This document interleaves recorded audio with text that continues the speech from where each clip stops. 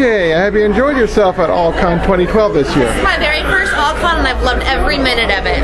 Ah, have you been to other Dallas area conventions? No, it's my very first one. This so is the very first I will definitely come back and explore more of the cons in the area. Okay.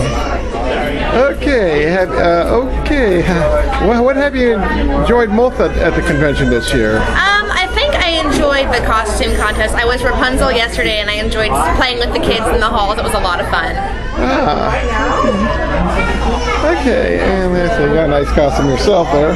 Thank you very much.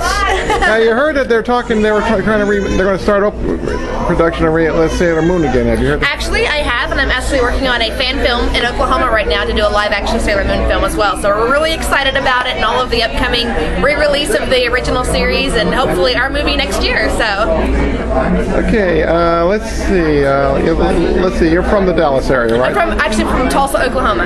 Ah, so you've probably been to Tulsa conventions. Of course, Tokyo in Tulsa is my home con.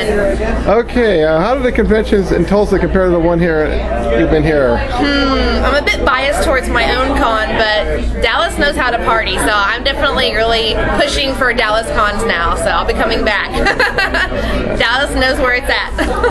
Okay, happy. Okay, that- since, since you're dressed as an anime character, famous anime character, Yes.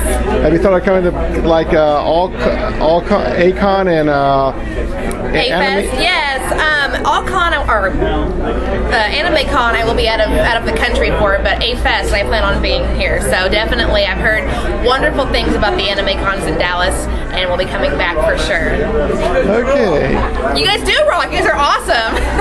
okay, well, okay, well, thank you very much. Thank you. Bye.